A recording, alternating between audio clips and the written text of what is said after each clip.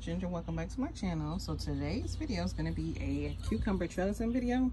So I'm getting ready to share with you guys how I am going to trellis up these Beit Alpha or alpha bait cucumbers. So as you can see, these have grown a lot since my last video showing these. So there's four plants in here that may be too much for this container, but I'm just gonna go ahead and go for it. So what I'm deciding to do is, let me show you what I'm using. So I'm using a tomato cage. So I'm gonna use a tomato cage for a trellising. Let me show you the package. So this is what the package looks like and it was $3 and I got it from Daiso. So this is what it's supposed to look like. As you can see on the picture here and I'll probably insert a image so you can see what I'm talking about. So this is what it looks like but I am going to use it as a trellis for my cucumbers. Okay. Um, and this is the store where I got it from, Daiso. Three dollars. It's a price. Okay, so I've already previously put it together, which I'll show you. So this is what it looks like. That now that I have all of the arms attached to the little stakes, the stakes, stake poles or whatever you want to call it. So I do, let's see, I think I have two more that go, actually no I don't. So they come with one, two, three, four, six of these arms, okay? And originally these two that are here are supposed to hold it's supposed to hold this in place um, like a triangle so in essence, what I'm saying is this bar here across this way would not be here. It normally goes this way. So maybe let me just show you guys what I'm talking about. Hang on just a minute. So this is what the tomato cage is supposed to look like. So you have the little triangle bars that go across this way. So you have one layer here and then the other layer here. But instead of me doing this third cross support here, I'm gonna take this one off and I'm gonna add it to the top here so that I can swing this whole cage out. And it could be used as a trellis for a different type of vegetable. So that's what I'm getting ready to do here. Hang on, hold on y'all.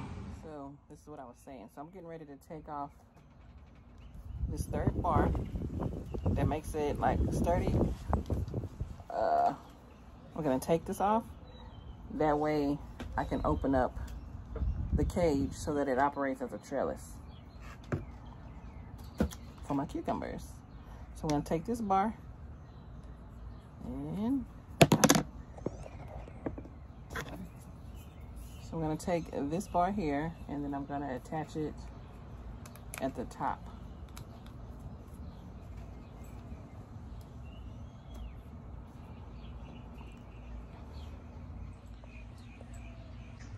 This is what it looks like and I think I might in the future just go back and pick up some more of these because I kind of like this idea um, and then if I need some other type of netting I do have another netting that I can kind of add in here if I need more support so let me go ahead and get this arranged in the soil and then I'll come back. All right guys, so this is what it's looking like so far. It's a little bold. What I did, I think it came through the bottom of this pot. Let's see here. Yeah, it did. It came to the bottom of my container, so it kind of poked a hole through it, but that's all right. Um, it was already kind of aerated, aerated at the bottom for drainage, and I think that's what um, caused the stakes to go through. So now what I'm doing here, which you can't see, is I'm just trying to get everything evened out because it keeps bowing out on the side as y'all can see. Hold on. And if you wanted to, you could also use this or you can extend this out. So if I had like, so I do have another one of these pots. So if I wanted to put like another extension on it, I could probably do that, but I don't think I'll do that. Um, and you can also add more crossbars in here as well. So just in case you need more support, you can also probably go purchase these at, they may have them at Home Depot maybe or Lowe's. I think I have seen some of these connectors. So I think they are called connectors and you can purchase some of the connectors and you can add them in between here and yeah so if you needed more I guess space to attach your cucumbers or if you want you can probably add some type of netting over here which I have but I think the netting that I have the holes are too large. So but for now this will work. So let me go ahead and attach these cucumbers plants to the little bars. All right guys so what I decided to do is go ahead and get these bamboo stakes. And these are I think 72 inches long. And then I also have my little handy dandy saw that I'm gonna use here in a minute to cut these down.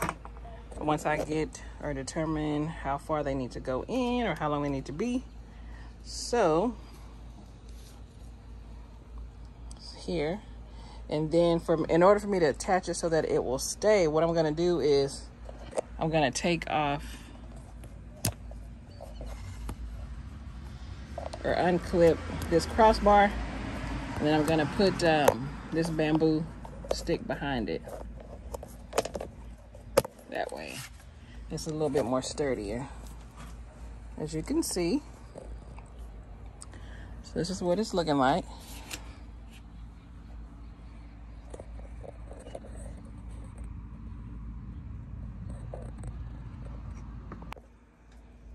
All right guys. So this is the final for this DIY cucumber trellis and so like I said a minute ago, you can, but I decided not to do that because I don't want to cut my bamboo stakes. So you can apply the bamboo stakes in between here. And then, well, of course, cut them down to the right size. And then you can add them in between um, your plants here. If you need it more like, I guess, squares in between to trellis up.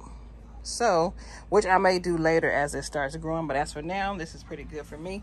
So you can see I have wrapped the tendrils across the crossbars, and then some areas I have the bread ties on here, which I kind of I put up here, but I didn't like twist them really tight because I don't want them to cut into the vine.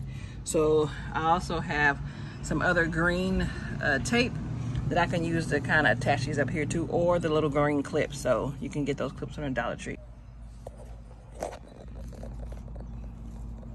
And here are little tendrils. You can take these and wrap these around here.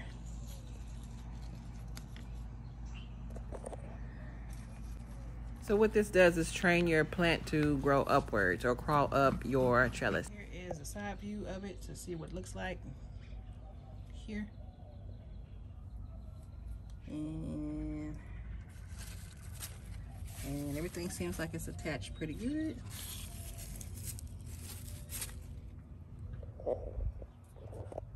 Here's let's see.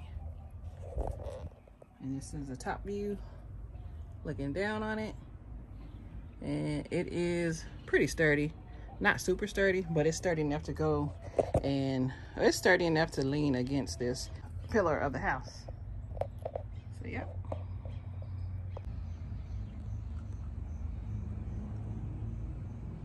All right guys, so here is the final look of my cucumber trellis that I made out of tomato cages. So I will, again, I will insert a clip of the triangular tomato cages that I bought from Daiso. And then this is how I decided to use them. And again, as I mentioned, if you need more grid space, in between for your cucumber vines. You can also add two pieces of bamboo in between here and then just cut them down to the appropriate size or you can just leave them long, long wise or whatever. But I just decided to keep mine just like this. So I'm not gonna use the bamboo as for now, but maybe once my vines continue to grow, I'll probably insert some bamboo stakes. But as for now, this is it. I hope you guys enjoyed this little DIY. Please remember to like, comment, and subscribe.